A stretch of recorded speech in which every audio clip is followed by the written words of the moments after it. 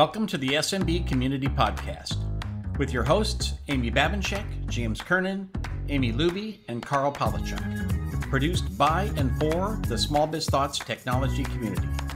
We're dedicated to making every IT professional a successful IT professional.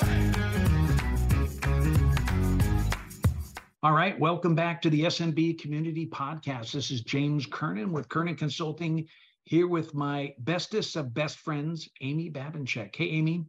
Wow, I've been elevated. Thank you. well, it, has been you and me, it seems like, uh, on these podcasts. So uh, uh, you have been elevated, but uh, cool, well, cool. I don't you. know if that's a good thing or not, but uh, oh, I'll, I will I'll, say it is. I'll be pleased to find out. So there you go. There you go. Cool. So how what what's going on? What what's new with you? Well, I thought I would tell you. Karl's not here. I get to speak for him today. So um, Karl and I are going to Australia to speak at the SMBIT Pro Conference down there. Mm-hmm. Great national organization, and um, we both have been there before, and we've been invited again. We're each doing our individual sessions, but we're doing a session together too. And the one we're doing together is um, I'm sort of thinking of it as a different take on the M&A conversation because the M&A conversation is like, oh, you've worked all these years and now you're ready to retire, so it's time to sell your business. Um, we're really going to talk about the fact that retirement often looks different for business owners, right? You, selling your business doesn't have to be the only way that you can retire. It maybe mm. one way and what are all the different things you need to consider and what are your options for for planning your retirement in this next phase of life you know right. it's a little different than if you just have a job and then you cycle out of it and it's this kind of this clear cut end but business owners often don't have that so that's what we're going to be talking about very um, cool and then i'm also going to be doing a technical session there um, by um, not with Karl on my own, and Karl's doing in a session as well on his own. I'm not sure what his other topic is, but mine is a technical deep dive into uh, Microsoft 365 as your endpoint detection and response um, system because it is built into Business Premium. Most folks don't really understand how to get that set up.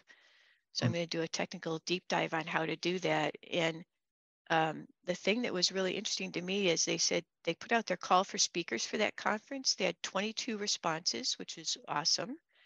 Um, but none, no one, not a single person came forth with a technical session for an IT conference.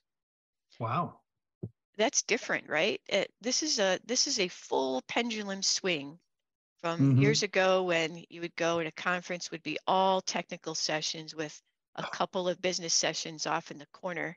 And right. now the pendulum is swung completely the other way where they're all business sessions and you can hardly convince them to squeeze in a technical session here and there. That's funny. That's funny. That's true. That's true. It. Uh, I, always like the balance. You know, I always like kind of the mixture, uh, so it attracts both crowds. But yeah. um, I do love those business conversations.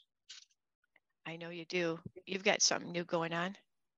Yeah, I've got all sorts of things going on. Uh, so there's a couple things I wanted to bring up. One is the um, something I thought is fun. I always one of my favorite sessions. So I always speak at our quarterly mastermind events, and one of the sessions that I have that is really fun is I call it Anything Goes. So it's dedicated time and members and guests and and sponsors can ask any question that they want and sometimes it's just me, but the reality is it's a discussion of all of us that are in the room. So you've got almost this highly intelligent advisory board, especially when you're there or Karl's there. But uh, we will talk about anything that anybody brings up. So I wanted to bring that to social media, and I just started that. I mean, it's kind of fun, but uh, I'm doing it both on LinkedIn. So just look for me on LinkedIn or look for me on Facebook, James Kernan and you can follow me and then you'll see weekly posts where you can ask anything and then I'll do a video response on on those questions. So uh, that that's been a lot of fun. I'm just trying to do more fun things out on on social media to help the community. Uh, That, so that sounds pretty cool. That's kind of like a an ask me anything type session, but I, I like that you're turning it into LinkedIn video. Yeah, yeah. And uh, another thing for all you uh, Traction fans or EOS fans out there, anybody that's ever read that book uh, called Traction, Gino Wickman, uh, or Get a Grip, you know, it's another version of it. Or my favorite one was What the Heck is EOS? Uh, something I, I'd been through the training, the EOS training, and as a business coach, a lot of us take our customers through the same journey, you know, business plan, goals, marketing plan, what campaigns are you running? Who are your strategic partners? You know, what makes you different or unique uh, or better than your competitors in your local marketplace? These are all exercises. And one thing that was kind of fun that I've done in my practice was uh, I've broken down that uh, that journey, the EOS journey, in in 12 exercises. And I've uh, been working with MSP business owners that are struggling with their growth or controlling their growth or even, you know, other issues in the business. Most of the time it's communication, but uh, broken it down into 12 one hour leadership meetings. And I run all these on Zoom. So video meetings with uh, you and your leadership team. And then each week we go through one of these 12 exercises and at the very end you complete your full you know two page business plan which uh, the book traction calls it your vto your vision traction organizer but i'm getting a lot of traction with that and i, I love it because it's a meaningful exercise and it makes a huge difference in people's businesses when they implement this structure this blueprint and uh, you know have weekly meetings they have dashboards they're tracking the actual performance against their goals. Uh, it creates that uh, culture of success, I call it. But uh, I've been doing a lot of that lately. i have got four going on right now, and it's uh, it's a lot of fun uh, seeing what a difference that makes in, in people's businesses. Well, it's a certain amount of accountability too, right? Yeah, yeah. the thing as a uh business owner, when you're at the the pinnacle there's nobody there really to hold you accountable. Right. So you have to get these devices to hold you accountable, right? yeah, and it always seems it needs to be a third person. And uh, you know, I, I'm the same way. I like I, I like having an accountability partner in different things that I do. To you know, if I say it out loud that I'm going to do something, then I'll be there and I'll I'll do it. I'll show up and get it done. Uh, but if you're doing it all by yourself, it's really easy to hit the snooze alarm and, and skip that workout or not follow through on something because you know like i used to say it's always lonely at the top you know i like having someone else but that's exactly it the, the other cool thing is employees will help you get to your goals faster than you just trying to do it yourself what i see in the msp community a lot of a lot of smart people they've got all their goals and, and expectations up in their head but they never put it in writing and they fail to connect the employees to the vision of the business, where the business is going. And these exercises, the finale, which is my favorite exercise, is a presentation of the full business plan back to the entire team. So it, it connects each employee to the overall, you know, 10 year plan of where the business is going. So uh, that's that's always really fun. I'm always surprised at how many business owners will try to keep that stuff from employees. Yeah. Like they just it, they want they get almost overly obsessed with the billable hour and their productive time and well if I do that then I'm just taking away from you know from their time where they could be making me money.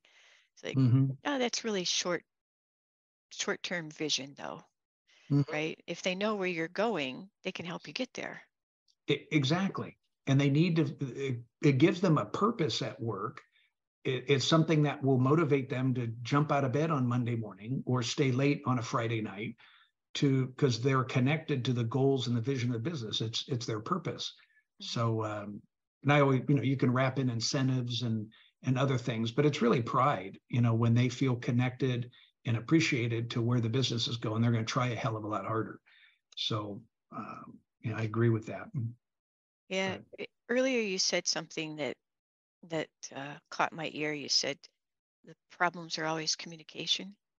That's Mhm, just, that's mhm. something that's something that I always say too. I uh, you know even even when it's uh, you know there's an unhappy customer, let's say there uh, you know, and you want to think that oh well you know this is a that's a technical issue, Mhm. but hands down every single time it's about communication Right. right? Something wasn't communicated to the client, you know, or it took a little extra long, it took a few more hours, it was going to be a little more expensive, whatever it was. Um, it just wasn't communicated to the client properly. And if you can communicate, then all these problems just go away. Like Mhm. clients are very understanding, employees understand, you know, as long as they feel like they're part of the process and Mhm. they you know they understand what happened you you did that communication then everything just smooths out it's Right. it's it's wonderful Yeah. And you and you can do that through, you know, just weekly management meetings or weekly staff meetings where you're going through the dashboard, the goals, you know, what's happening with our customers, what what are the top three things this week, what are the top three things next week that we can prep and talk about. And it seems like as you go through that, you start meeting as a team more and more. Uh, the, the the business owners that I talk to that meet with their team on a weekly basis, you know, same time, same day each week consistently, Mhm. are are um, per, outperforming by far the ones that don't. And I'm sure you hear this too, Amy, in your circles of how busy we all are as business owners. I don't have time to meet, and and most uh, MSP business owners are introverts, right? They don't like that socialization or or meeting where they don't have time to create an agenda. Uh, to me, that's just part of leadership, and it's so critically important, uh, not just for you, the business owner, to be in tune what's going on, but for the rest of your leadership team that's you know should be or really running the business. So anyway, yeah, it is communication. yeah it, that's it's interesting my um my msp does meet weekly they meet on tuesday mornings and um you know they sort of uh, part of it is chit chat you Mhm. know because it's that's part of team building as well. Um, you know they don't all get in one place to be able to talk to each other because they all work from home. So so part of it's chit chat but part of it also is um, a you know i call it like a true up of where you were last week where you're at this week what's going on and they sort of go around the room and everybody talks about that and that Yeah, invariably starts a conversation about something you know somebody right. needs help with something we need some we need to do some training on this I, you know and they they they feel comfortable saying i don't know what i need to do with this or you know is there anybody who can help me with that and that's where a lot of these that type of thing comes out as long as Mhm. you encourage that sort of open conversation um, they get they get more and more comfortable at, at doing it Yeah. but you're right having it be every tuesday they know that you know as they're going through their week they've got things in their head that they're going to talk about on tuesday Exactly. Yeah, that's, you know, I I always call that, that's my time where I know that I'm meeting with the rest of the team. That consistency is really important.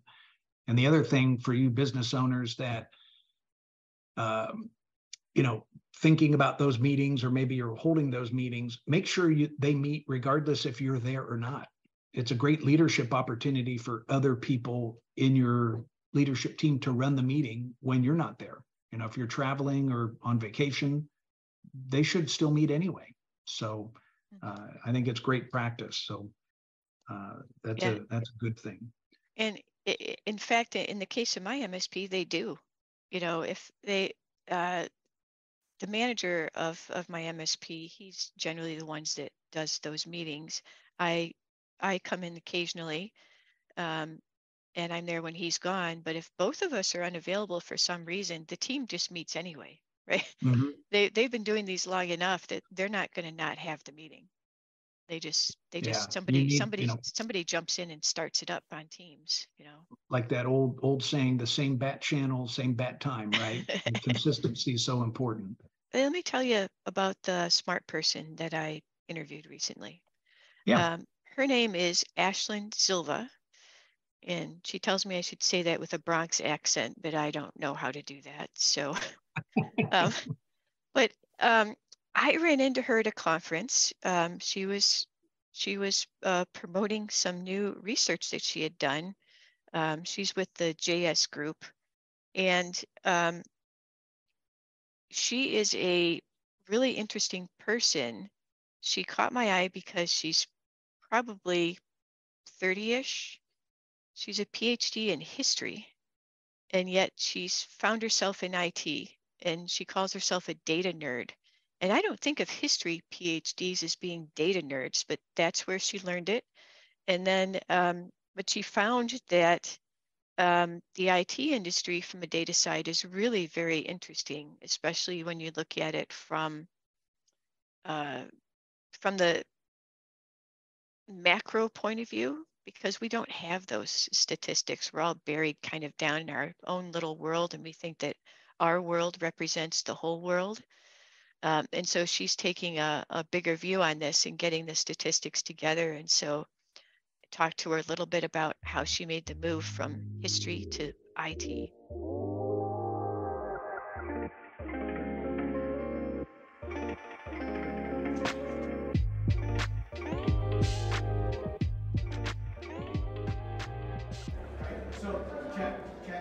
Today I am talking to smart person,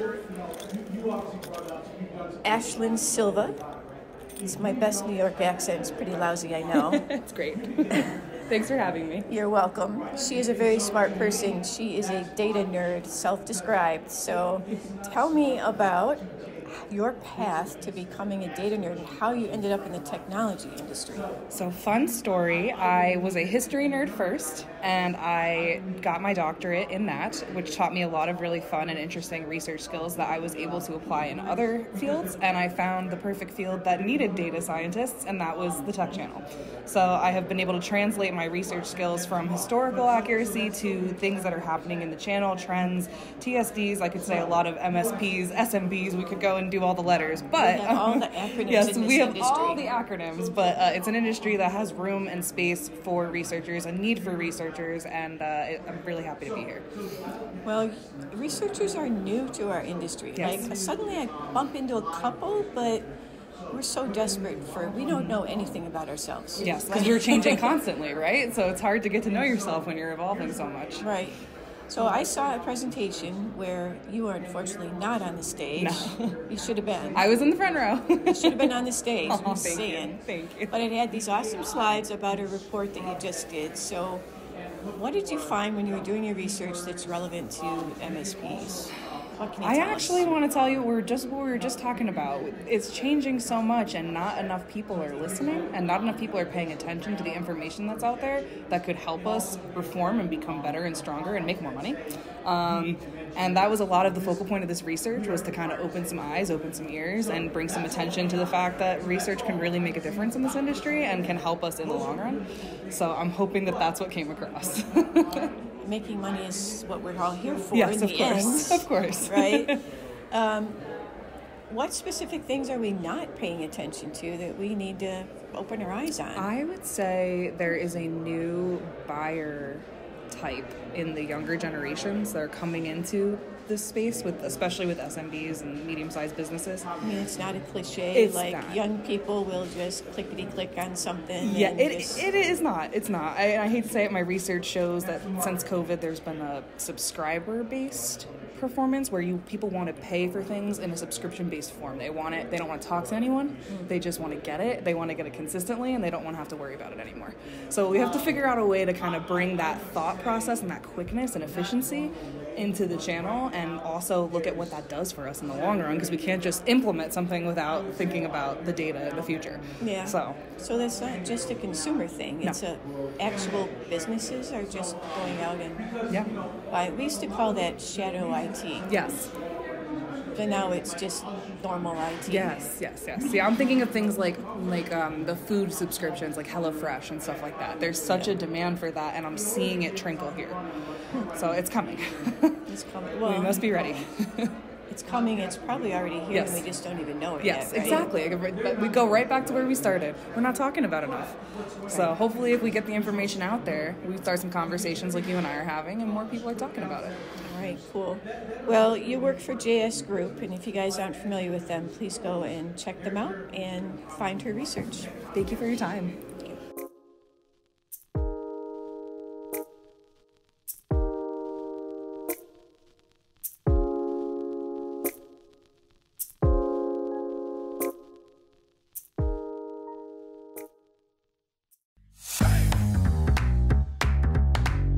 This podcast is sponsored by the Small Biz Thoughts technology community. Check us out at smallbizthoughts.org. Forums, templates, and checklists are just the start. Our community includes all of the best selling books on managed services in all available formats, plus free training, members only programs, and the best business training available to managed service providers anywhere. Plus, we have weekly, live, members only Zoom calls. The average member saves more than 200% of their membership cost each year. We are totally dedicated to your success. Just because you're in business for yourself doesn't mean you have to go it alone. Join us today at smallbizthoughts.org.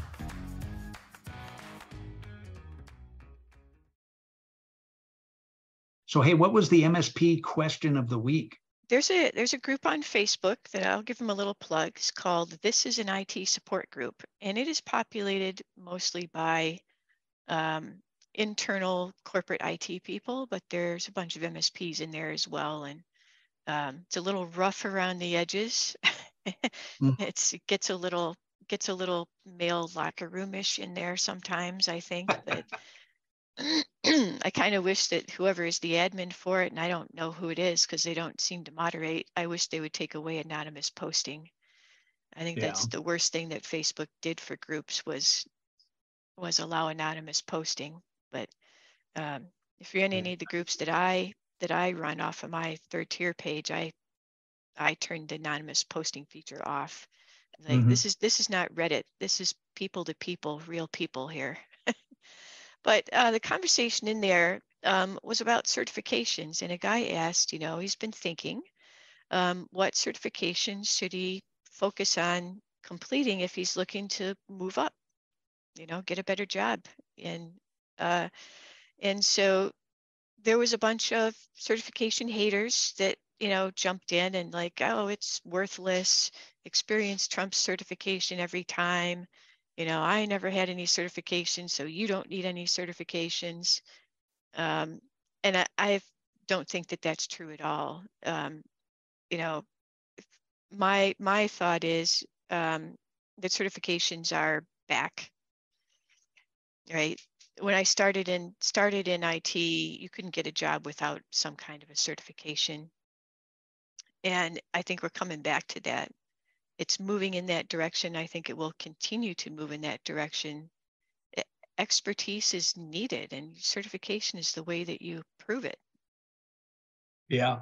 Yeah. Yeah. The I think the certs are so important, you know, in uh there's always two arguments to to this, but being, you know, a business owner in the MSP channel and then being a sales professional, the MSP channel, I think a huge differentiator is certifications. And uh, you know, one, when you're selling to prospects and to current customers, I think certifications are incredibly important. And number two, just as important, when you're trying to develop, further develop that strategic partnership with Microsoft or with Cisco or with VMware, and you don't have people certified, they won't give you the time of day. And uh, again, as a business owner, if I'm running my business to make more money and to develop those partnerships and make more rebates or get deeper margins, hint, hint, you need those certifications to move from bronze to silver or silver to gold uh, with some of those partnerships. I know Microsoft's changing their their programs around or names, but uh, I think you get get my drift. I, I think they're incredibly important. I 100% agree. And so um, I think it was bad advice that, you know, this person was being given on, you know, that experience will trump certification every time. I don't know, as a person who hires people, I can tell you if I see a certification on their resume, they're immediately to the top of the pile because I already know something about them. I instantly know that they have a baseline of knowledge. And now I can talk to them about their experience on that thing. Whereas if I'm if there isn't one, now I have to try to ferret out what their baseline is, where they're at, what they might know, what they where their gaps are. Um, certification just levels you up right from the Yeah. get-go.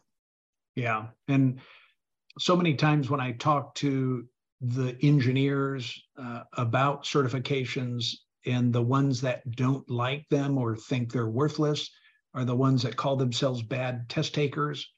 Well, I know I know all that stuff. I know all that stuff. I'm just a bad bad uh, test taker, and you know I, I know ten guys that are certified, and I could run circles around them.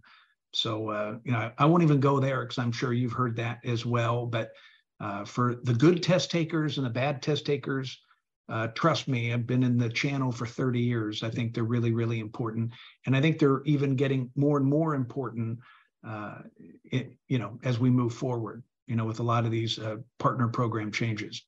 Yeah, test taking is a skill. It can be learned. If you're a bad test Yeah. taker, that just means that you haven't yet learned how to take these exams.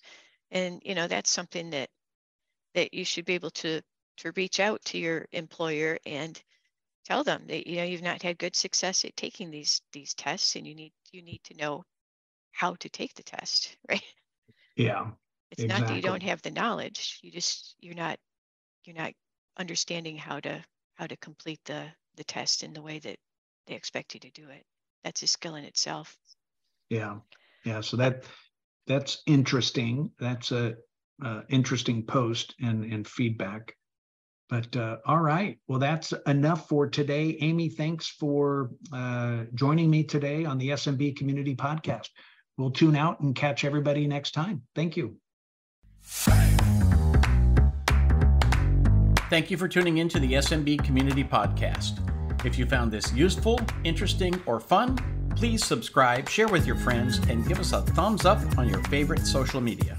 Please check out the show notes at smbcommunitypodcast.com and give us your feedback.